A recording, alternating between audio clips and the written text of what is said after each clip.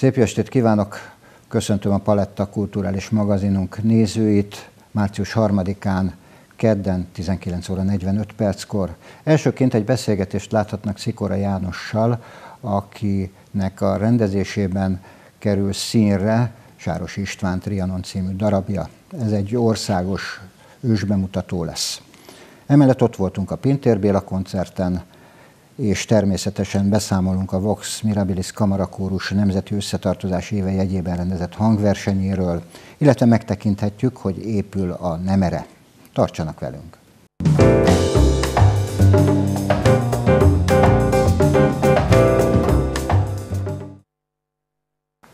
Március 7-én 19 órakor színház történeti pillanat tanulja lehet a Székesfehérvári teátrum rajongó, hiszen bemutatják Sáros István fantasztikus Trianon című drámájának színpadi változatát, vendégem pedig Szikora János, kettős minőségében, egyik oldalról a Vörös Marti Színház igazgatójaként, másrészt pedig a darab rendezőjeként is köszöntelek.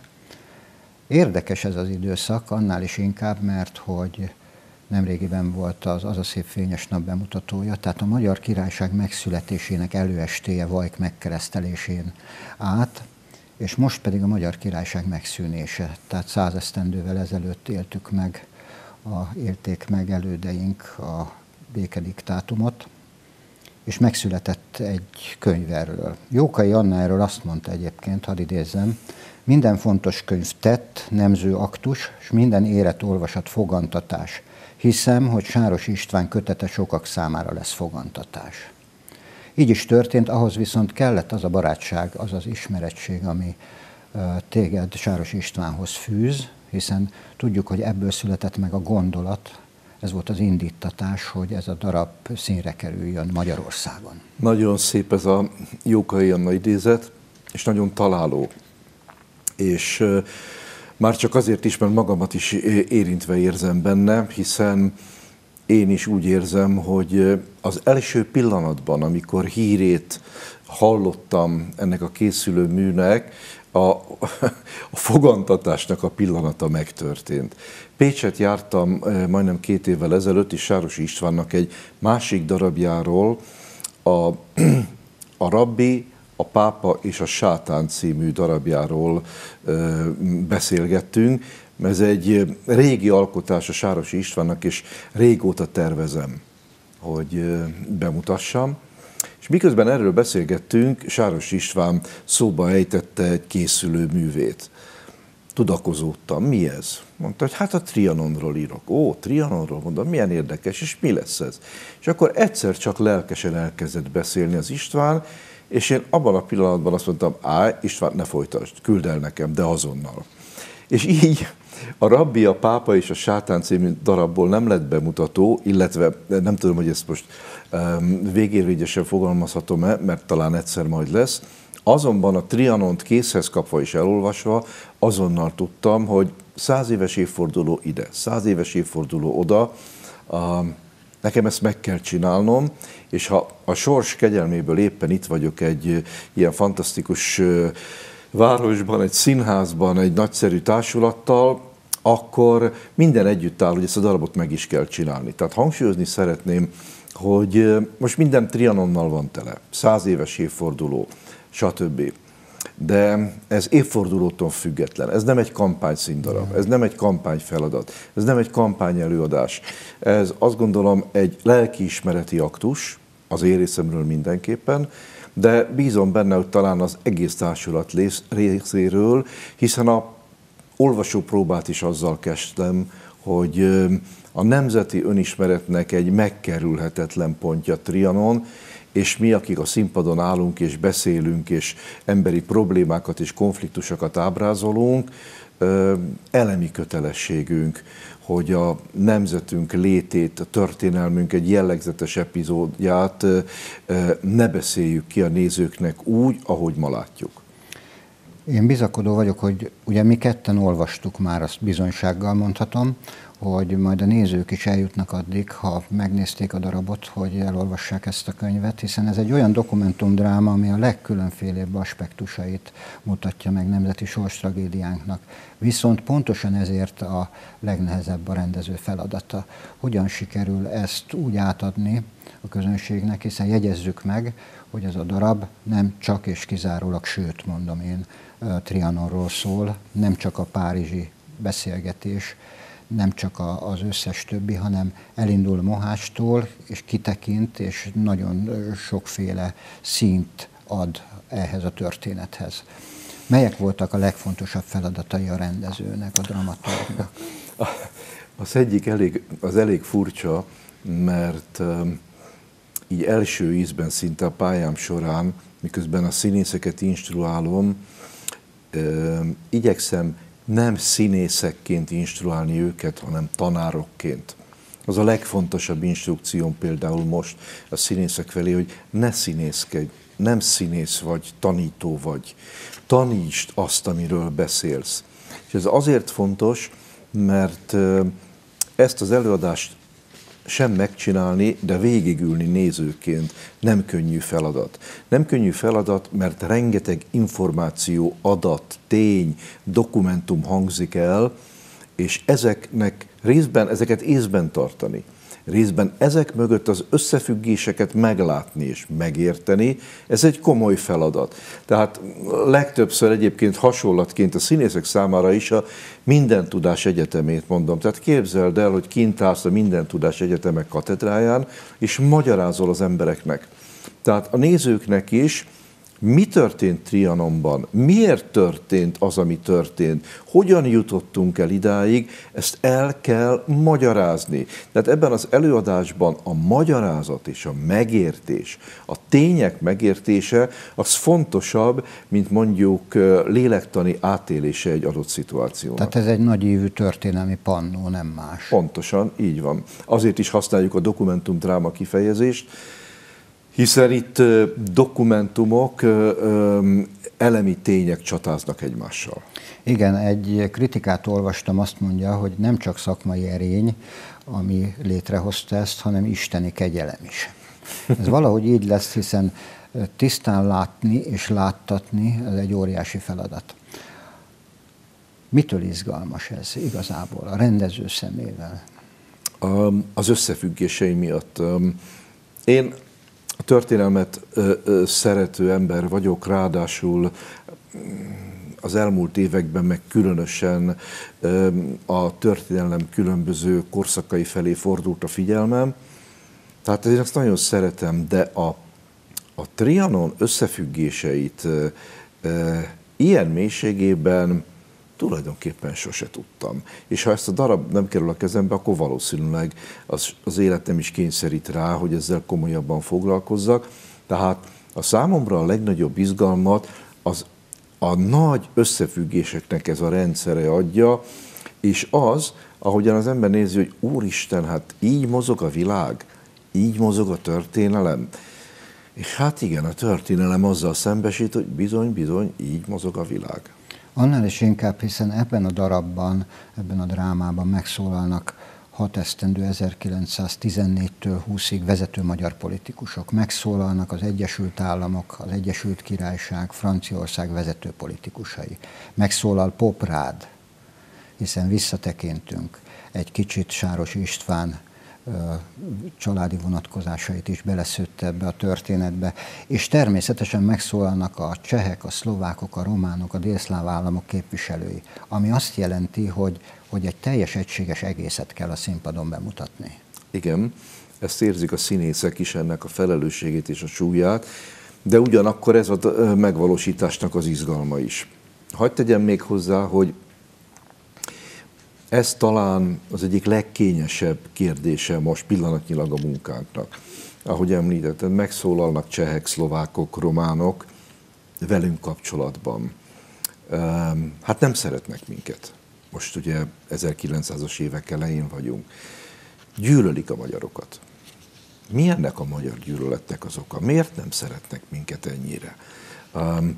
Ez folyamatosan fel, felvetődik ez a kérdés, és hát persze megkapjuk rá a választ, kiki maga döntse el, hogy ez mennyire elfogadható, de, de sajnos megvan rá a válasz, hogy miért nem szeretnek minket a ma már szomszédaink, akkor még nem szomszédaink, hanem velük, velünk együtt élő társbérlők, már. Elnézést, hogy ezt a kifejezést használjam, és ugyanakkor a kor román cseh politikusai szájából hát nagyon kemény magyar gyűlölő mondatok hangzanak el, annyira kemények, hogy szinte azt mondtuk, hogy na álljunk meg, mert hogyha ezt a Sárosi István írta, akkor ezt most nem lehet elmondani, mert ez szinte egy becsületsértéssel feláll, felér.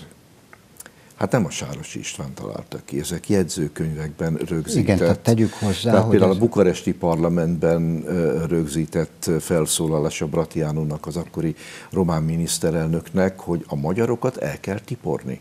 Mert ha mi nem tiporjuk el, akkor ők fognak minket eltiporni. Tehát azért ez elég durva mondatok, gondoljunk bele.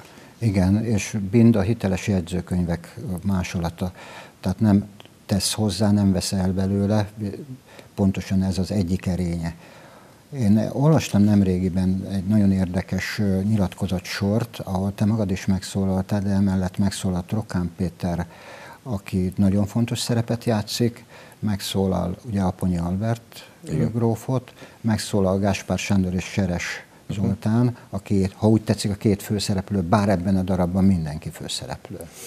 Valóban, tehát ugye szoktak ilyen sablonosan mondani, hogy nincs kis szerep, de itt tényleg elmondható, itt minden egyes szereplőnek külön óriási sorsa van, és ez csak úgy érdekességként jegyzem meg, hogy én még nem nagyon éltem meg életem során olyan próbát, ahol a színészek a próba után ilyen lelkesen vetették volna be mag, bele magukat a, a YouTube-ba, vagy az internet különböző csatornáiba, hogy utána nézzenek, hogy ki is ez a figura, akit én játszom, milyen volt ez. És hát izgalmasabbnál izgalmasabb karakterek jelennek meg. Ebben a darabban érvek és ellenérvek ütköznek, azt mi tudjuk, és, és tele van, ha úgy tetszik, személyeskedő dialógusokkal. Ennek ellenére nagyon-nagyon fontos minden egyes pillanata. Hogyan lehet ébren tartani a nézőt? Az ébren tartást azt idézőjelbe tesszük. Hát igen. Ez még pillanatnyilag az én számomra is egy nagy komoly feladat, hiszen az előadás hosszú és bonyolult, bizonyos pontjain lankad a figyelem, de azt hiszem, hogy én azért talán elég jó tesztalany vagyok, és hogyha én elkezdek unatkozni, akkor a néző biztosan unatkozni fog.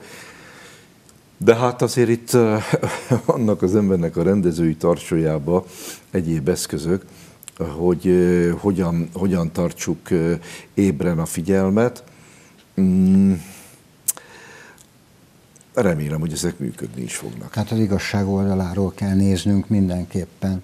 Annál is inkább itt nagyon sokan idézik Praznoszki Ivánt, a delegáció főtitkára, amit mondott. Én azt hiszem, hogy ha egy kicsit, ha nem is teljes egészében, de egy rövid idézet, mezőgazdasági területünk területeink, állatállományunk, földgázlelőhelyeink, barna szén, vasércbányáink, sóbányaink, hegyeink, erdőink, vízi útjaink, vasutaink 60%-a.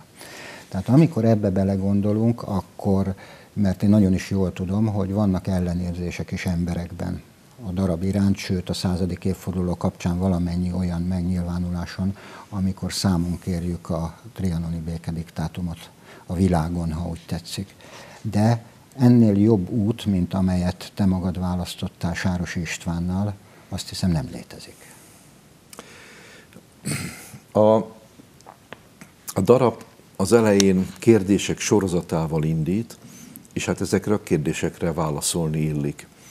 De a legnagyobb kérdés, amit itt az előbb talán említettem is, darabból vett idézet, hogyan jutottunk el idáig? És én azt gondolom, hogy a darab végére megkapja a néző a választ, hogyan jutottunk el idáig, és ebben a végső szót tulajdonképpen a politikai felelősség adja. Tehát az, hogy minden politikai tett, minden politikai hatalom óriási felelősséggel jár együtt. A Trianon a politikai felelőtlenség iskola példája azoknak a felelős politikusoknak, és ebben a franciák, az amerikaiak, az angolok, az olaszok mellett a magyar, a kor magyar politikusainak politikai felelőtlensége is bőven benne van.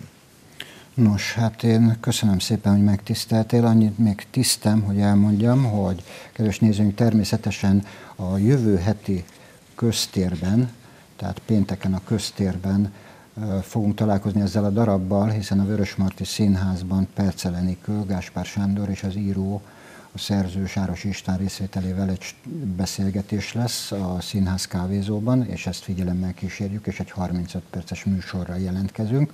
Egyébként pedig kérem ne feledjék, tehát március 7-én 19 órakor premier, amelyről természetesen beszámolunk mi magunk is. Szikora Jánosnak köszönöm, hogy köszönöm. megtisztelt, és mi pedig folytatjuk a palettát.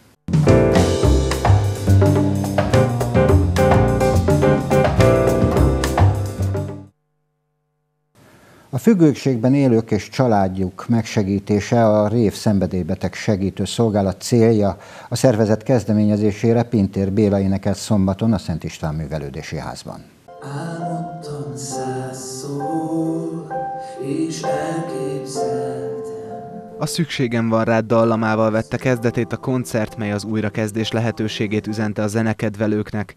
Az előadó Pintér Béla személyben ez a féle árszpoétika, így hát a rendezvény a Könyvperek című dalából idézett új életről szól az énekem nevet kapta. Valamennyien, akik ezt a koncertet szerveztük, vagy, vagy résztvevőként itt vagyunk, vagy előadóként itt lehetek, van egy életcélunk, és van egy életfilozófiánk, hogy az élet az megváltoztatható, és hogy ezért, ezért tenni kell. Na most én zenész ember vagyok, és teszem a dolgomat, énekeket írok, dalokat írok, és így próbálok hatni szívre, lélekre, a barátaim, akik ezt a koncertet szervezték, ők is a maguk területén teszik azt, hogy történjen változás, ne kelljen ma ugyan, holnap ugyanannak lenne, mint aki ma voltam, lehessen perspektíva, lehessen növekedés. Keresztény emberként ezt, a, ezt a növekedést, ezt a perspektívát az Istenben látom, ezért a dalaim róla szólnak, és hát ennél találóbb címet innen közelítve nem is lehetett volna adni ennek a mai napnak. Az énekes hozzátette, az évek során tulajdonképpen csak sodródott az eseményekkel, hiszen művészetének egyetlen ihletője van. Ez már negyed évszázada tart, ez a bizonyos régóta, igen, rohan az idő, hihetetlen. Másrészt egy ilyen események után kullogó embernek tartom, vagy vallom magam. Tehát az Isten a kezdeményező. Abban hiszek, hogy a dalokat is tőle kapom, és, és ő mutatja az irányt, és egyebek. Úgyhogy, úgyhogy ő, ő, ő alakította tulajdonképpen ki bennem ezt a fajta hozzáállást. Mai koncerten milyen dalokat fogunk hallani? Van valamilyen közös tematika, esetleg akár zeneileg, ami meghatározza itt a ma elhangzott dalcsakrot? Nincs. Van egy, van egy, egy tóliges listám általában, de én mi, mindig a, a koncertek első percében döntöm el, hogy merre fogok elindulni, amikor szembeállok a közönség, jó estét ki, vagy jó napot, vagy akármit kívánok, és meglátom az összetételt. Keresztények, világiak, gyerekek, idősek, fiatalok, kik vannak túlsúlyban, és akkor megpróbálom arra elindítani a koncertnek a menetét. Ma is körülbelül hasonló elképzelések mentén fogok neki vágni az estének. Más a szív és más a száj, megint tél van, a rév remény életváltozás 1997 óta segíti a változás útján a függőségben élőket, többnyire rendszeres foglalkozásokon. A szombatihoz hasonló jellegű figyelemfelkeltő rendezvényeket a prevenció jegyében szervezik. Szívügyünk a megelőzés, a prevenció, ezért rendszeresen szoktunk ilyen eh, rendezvényeket szervezni.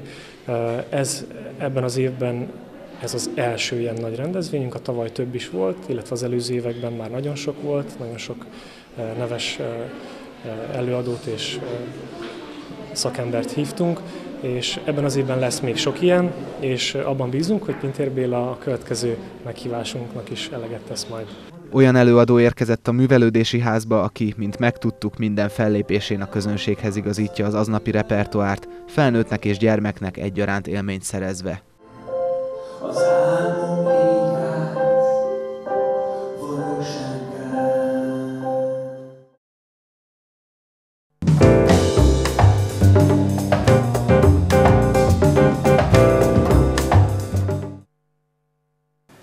Szintén a Szent István művelődési házba invitálom önöket, hiszen így tett a Vox Mirabilis Kamara kórus is. A kórus hangversenybélet sorozatának részeként Farsangi Opera Parádé várta a nagy érdeműt a Nemzeti Összetartozás évegyegyében.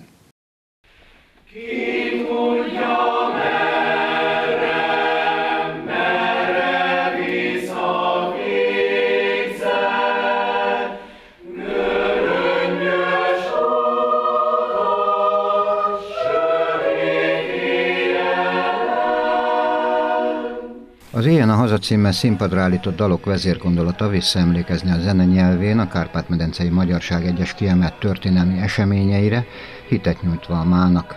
Zemlényi Katica a kórus karnagya nemes elv mentén állította össze az estműsorát. Éljen a haza! A Nemzeti Összetartozás jegyében állítottuk össze az egész hangversenybérletünket, de ezt a Farsangi Opera parádénkat különösen is szeretnénk emlékezni a határon túli magyarokra, az itt élő magyarokra és a Nemzeti Összetartozásra. Ezért Nemzeti Operánkból válogattunk a bánkbámból részleteket, és a kórus is olyan különleges kórus részleteket fog előadni, amit eddig még nem hallhattak, sőt, lesz egy ősbemutató is.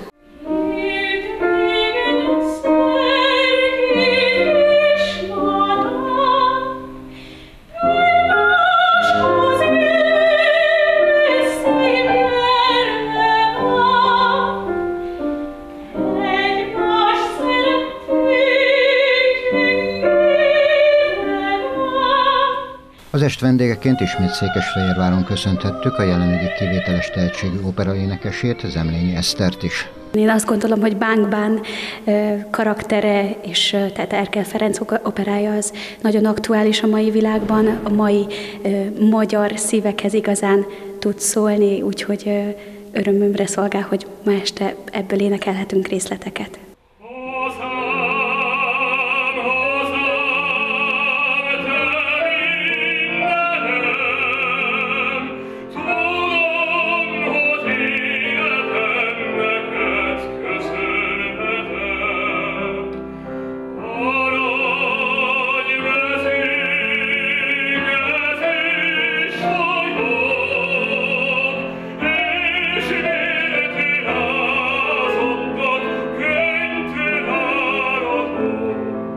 Az est vendége volt Haja Zsolt, aki magasló képességű bariton is. Erkel Ferenc bánkbánja az, az mindenféleképpen az alap opera műve a magyarságunknak, illetve a, a másikat is megemlíteném, amit én még éneklek, a Kacsó Pongrác zeneszerzőtől a Rákóczi megtérése, az is szintén egy hasonló hangvételű, mint a bánkbán. A Szent István termet zsúfolásig megtöltő közönségnek nem kellett csalódnia, olyan nagyívű érzelmekkel teli estén tettek hitet magyarságuk mellett, amelyet megerősítettek az elhangzott Verdi művek, Liszt Ferenc magyar rapszódiája, kacsó zenei gondolata Rákóczi megtéréséről, Erker Ferenc örökbecsű bánkbányának dalai, Szabó Krisztián székely himnusza és Simon János hűség himnuszának ősbemutatója is.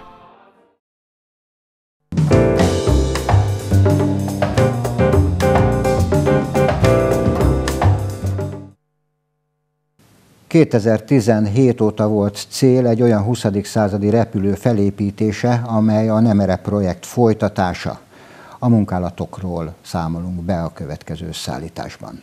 Ez például a 20-as bordának a sablonja, ezek közé a rétegedlemez fa kockák közé szépen behajlítjuk a felső ívet, utána az alsó ívet, majd pedig így minden egyes lécet ez alapján a segédterv alapján, amin világosan látszik, hogy a 14-es, 15-ös, 20-as, 21-es, 22-es bordának egyes távolságai hogy jönnek össze. Mintha csak egy technikaórai barkácsolás folyamatáról lenne szó, könnyedén, mégis precízen magyarázta Józsa Dávid a városban zajló munkafolyamatot.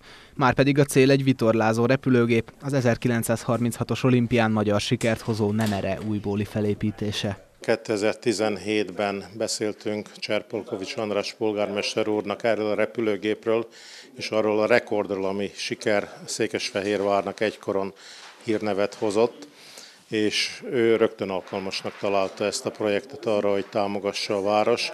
Ez nyújtott lehetőséget arra, hogy elinduljunk a Nemere megépítésével. Az eredeti tervek alapján egy repülőképes repülőgépet fogunk megépíteni, és az előkészítő munkálatok, illetve a hatósági engedélyeztetés követően el is kezdődött a repülőgép építése. 2019-ben Budaörsön, Révi László műhelyében elkészült a repülőgépnek a törzse, ami most körülbelül olyan 80%-os állapotban van, és a, ezt követően az építés a Székesfehérvárra tevődött át helyileg. Most pedig a Gulyás és Társa Kft. telephelyén a 10 méter hosszú szárnyak építése van folyamatban. A Repülő Egyesület tagjai fáradhatatlanul dolgoznak a megannyi alkatrész elkészítésén fából. 128 darab bordából áll a teljes szárny, 64-64-ből oldalanként, és úgy döntöttünk, hogy elsőként az 5x8 mm-es lécekből készült bordákat kezdjük megépíteni, és most ez készült el, tehát az első 26 darab borda, mindegyik, amelyik ebből a lécvastagságból készült. Nehezíti az a munkafolyamatot, hogy tehát nem egy korszerűsített változatot, hanem egy az egyben a régi modellt építitek újra? Gyakorlatilag teljesen úgy építjük, mint ahogy ez 1936-ban készült Székesfehérváron, ugyanolyan anyagokból, teljesen az eredeti terveknek megfelelően nem lehet ezt automatizálni. Tehát aki egyszer-egyszer jönne segíteni, vagy megnézi, akkor hogyan lehetne ezt gyorsítani, hogy lehetne lézerrel vagy kivágni, és akkor megnézi a terveket, és ja, hogy minden borda más és más, és semmit nem lehet belőle legyártani, vagy tömeggyártásba. Egyesével megcsinálunk egy szájbordát, kivesszük, megcsináljuk a baloldalit, kivesszük, jön a következő sablon, és lépésről lépésre megyünk. A világbajnok pilótára vár majd a feladat, hogy levegőbe segítse az új nemerét. Egyelőre nem tudni pontosan, mikor ér véget a város által is támogatott projekt, döntő szempont a végszerelés kritériumainak megvalósítása.